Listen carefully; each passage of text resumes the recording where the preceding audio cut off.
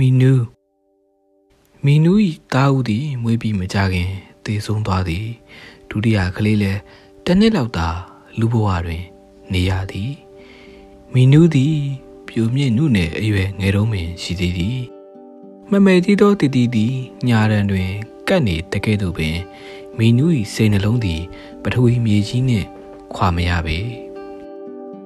မီနူးသည်ကမ္ဘာလောက၏အစင်းရောင်အရာဝတ္ထုများကို ဘဝအသက်ရှိသောအရာဝတ္ထုများကိုချစ်သည်မီနူး၏အိမ်တောင်ဘက်၌ခြံဥယျာဉ်ကလေးတစ်ခုရှိသည်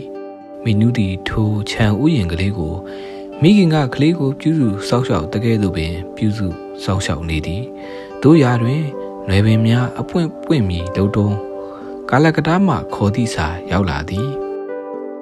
မီနူးသည်အိနီးနာချင်းအိမ်ကခွေးများကိုလည်းချစ်သည်ထိုခွေးများထဲမှအချစ်ဆုံးမှာ ဘွန်ဒါခေါ်နှာခေါင်းပြပြနဲ့ခွေးကလေးဖြစ်သည် ထိုခွေးကလေးအတွက်ပရိစီလဲဘတ်တစ်ခုလုပ်ပေးသည်တို့ရာတွင်ပရိစီလဲဘတ်မပြီးတပြီးမှပင်မီနူး၏ယောက်ျားသည်ကာလာကတားရှိသူတို့၏အိမ်တစ်ကိုပြောင်းရွှေ့နေရန်မီနူးကိုလာခေါ်သည်ခွေးပိုင်ရှင်ကခွေးကလေးကိုမွေးရန်မီနူးအားပေးသည်တို့ရာတွင်မီနူး၏ယောက်ျားကဒုက္ခမရှာခြင်းဇမ်းမာနှင့်ဟုပြောပြီးမီနူး၏ဆန္ဒကိုစန့်ကျင် ကန့်ကွက်သည်တညမီနူးသည်သူ၏အိမ်သစ်တွင်အိပ်၍မပျော်ဖြစ်နေသည်အိယာပေါ်၌တလှုပ်လှုပ်တရွရွဖြစ်နေစဉ်အာယုံရောင်သည်အလင်းအိမ်ငန်းထဲဝင်လာသည်မီနူးသည်တစောင်းထလျက်အပြင်ဘက်လှမ်းကြည့်လိုက်သည်ပရင်မဝအထိမြင်သောစကဝါပင်ကြီးတွင်စကဝါပွင့်နေပွင့်နေသည်ကိုတွေ့မြင်ရသည်ပန်းရင်နဲ့သည်မီနူး၏နှာခေါင်းဝရောက်လာပြီးလျင် မီနူးနေကောင်းရဲ့လားဟုနှုတ်ဆက်နေတကဲ့သို့ထင်ရသည်မီနူးတို့၏အိမ်နှင့်ဘေးကအိမ်၏နန်းရံကြားတွင်ညပ်ပြီးပေါက်နေသောစကဝါပင်သည် နေရောင်ကိုမျောတလင်းလင်းတောင်းတနေသည်။သဟောမိခင်၏စွန့်အားနေသောကလေးငယ်သည်မိမိအပိုင်မဟုတ်သောနေရာတွင်မိမိကိုယ်ကိုရှာနေသည်။ မီနူးသည်နေမြင့်မှအိယာထတတ်သည်နေအတော်မြင့်မှအိယာကထပြီးစကဝါပင်ကိုကြည့်လိုက်သောအခါစကဝါပင်ပေါ်၌စကဝါပွင့်တဝင်းမှမရှိတော့ပေဘလို့ဖြစ်ကုန်ကြတာလဲသူကိုယ်သူမေးကြည့်နေသည်မီနူးသည်အိမ်ပေါ်အားသကဝါပင်ကိုယူဆိုင်ပြီးရေလောင်းပေးဖို့ပြောလိုက်သည်တို့ရာတွင်သကဝါပင်ပေါ်တွင်သကဝါပန်းများကိုနောက်တစ်ချိန်မမြင်ရတော့ပေနေ့ရက်အတန်ကြာသောသောအခါ နနက်တိုင်းသကဝါပန်းတွင်မိတို့မိဘုံပျောက်သွားသည်ကိုမီနူးသိရှိသွားသည်အာယုံသည်မပွင့်တပွင့်ကြာပွင့်တပွဲဖြစ်နေကမီနူးသည်ဗြဟ္မဏတယောက်ချင်းတော်တစ်ထောင်ကိုင်လာပြီးသကဝါပင်ပေါ်တက်လျက်သကဝါကိုင်းများကိုခပ်ပြင်းပြင်းလှုပ်ချနေသည်ကိုတွေ့ရသည်သူကိုကြည့်ရသည်မှာအိမ်ငါးများထံမှအိမ်လာကလိုက်ယူနေသောအိမ်ရှင်နှင့်တူနေသည်မီနူးကအိမ်ပေါ်ကိုပြောလိုက်သည်အိမ်အောက်မြင်မြန်ဆင်းသွားပြီးအဲ့လူကိုငါစီခေါ်လာခဲ့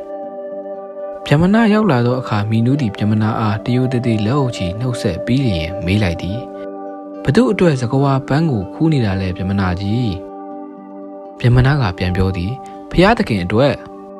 ဟမ်ဖျားသခင်ကဒီပန်းနေကျမကိုပေးထားတယ်ဆိုတာဗြဟ္မနာကြီးမသိဘူးလားညီးကိုပေးထားတယ်ဟုတ်လားဟုတ်တယ်ကျမကိုပေးထားတာပေးထားတဲ့ပစ္စည်းကိုဖျားသခင်ကပြန်ယူသလား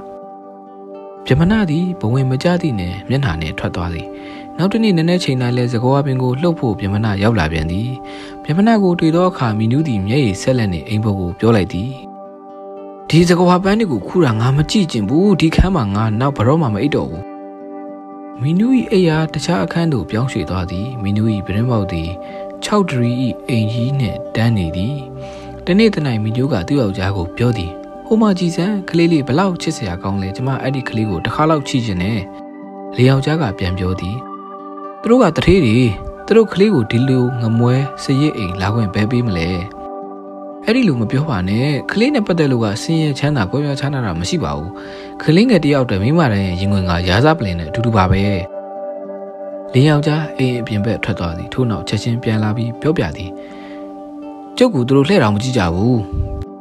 နောက်တနေ့၌မီနူးဒီအိမ်ဘောကိုခေါ်ပြီးပြောသည်ဟိုမှာကြည်စမ်းကလေးလေးခြံထဲမှာတယောက်တည်းကစားနေတယ် ခက်မြမြပြေးသွားပြီးကလေးလေးကိုဒီတကြားလုံးတော့ပေးလိုက်ပါညနေချိန်၌မီနူး၏ယောက်ျားမျက်နှာမကြည့်မသားနှင့်အိမ်ပြန်ရောက်လာသည်